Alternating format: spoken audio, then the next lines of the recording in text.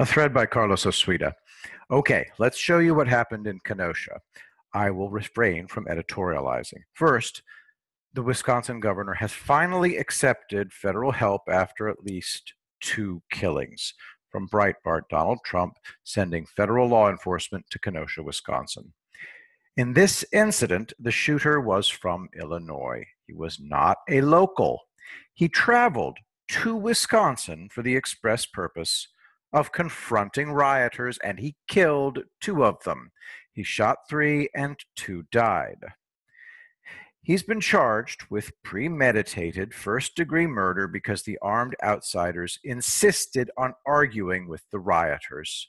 Watch as one poor man tries repeatedly to pull his buddies away. Link in the description to the thread. The prosecutors argue that he went to Kenosha specifically to kill rioters. From Breitbart, Kenosha, Illinois teenager Kyle Rittenhouse charged with murder for fatal shooting. Commenters in my last thread were talking about how residents would carry out tactical offensives and form kill boxes. No. They'd just get all jocked up in Hollywood Special Forces gear and become an uncontrollable mob, as we saw in the video above. Have you ever wondered why cops in the military don't get into arguments with mobs? Because those gunslingers are professionals, they're disciplined. What we had in Kenosha was angry mobs on both sides. It's called folie à deux, the madness of two. Men with rifles surrounded a Kenosha, Kenosha County Sheriff's Department MRAP mine resistance assault protected vehicle. The deputies were in no danger, so all they did was clear a path using tear gas and flashbangs. If somebody fired at the vehicle, that's illegal, but the cops weren't hurt. Well, I was going to post a video of a black woman going nuts in her car saying that the killings in Kenosha mean war, but it's been deleted. My point was that both sides are equally irrational. Trump will prevent that bloodbath that was about to happen in Kenosha. This is what a Kenosha business owner said. Watch it all. Link in the description. Man's message for rioters who burned down his business. I watched the video. It's about three minutes and 30 seconds long.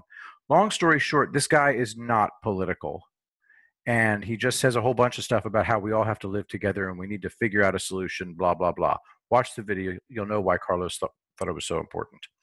The armed outsiders still have the ability to turn blue state voters against Trump. That's because the armed outsiders aren't acting in good faith. You saw for yourself that they were itching for a fight. They made everything worse. Now, people are pretending to not understand me. I'm being very clear. The rioters are irrational. Therefore, threats don't work. Shooting one or two of them doesn't work. I said nothing about your home and family. Look at the comments from non rioting leftists. They say that the destruction of property is reasonable due to the genocide of black people. This is a fantasy. Therefore, going out there with a rifle and toy military equipment will only make things worse. There's a reason that riot police don't engage mobs in debate and are armed mostly with shields and batons. It keeps the level of violence down. Here is something you need to understand the people of Kenosha don't want outsiders there. When you travel from other states and go to Kenosha simply for the thrill of an instigating conflict so you can kill rioters, guess what? You become what you became, what you claim to hate. A final point. People keep asking, what if the violence continues after Trump is reelected? After Trump is reelected, he no longer has to worry about political considerations. Those considerations are real. He can stop the violence because U.S. regular military special operations units have been surveilling, infiltrating, and collecting intelligence for months.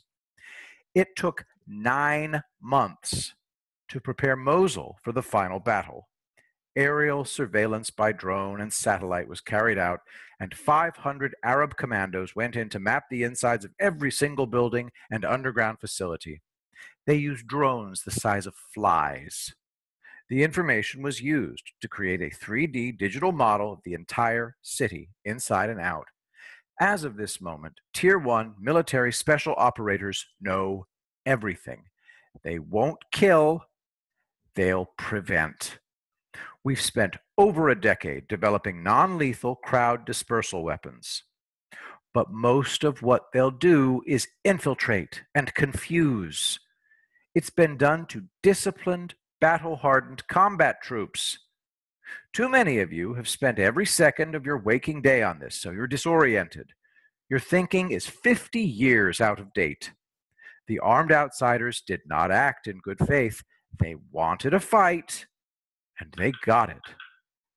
The kid from Illinois is sunk. He told everyone exactly what he was going to do, and he's on video trying to provoke the rioters even further. First degree murder. So, enough. Protect your own houses. In multiple cities, armed business owners were attacked after they shot rioters. Again, the era of roof Koreans is dead. The children of the LA rioters have no brains. A dozen armed men looking for a fight will get it, and then they'll go to jail. That's just reality. The local DAs are not charging any rioters, but they'll charge you guaranteed. Those are the rules of the game.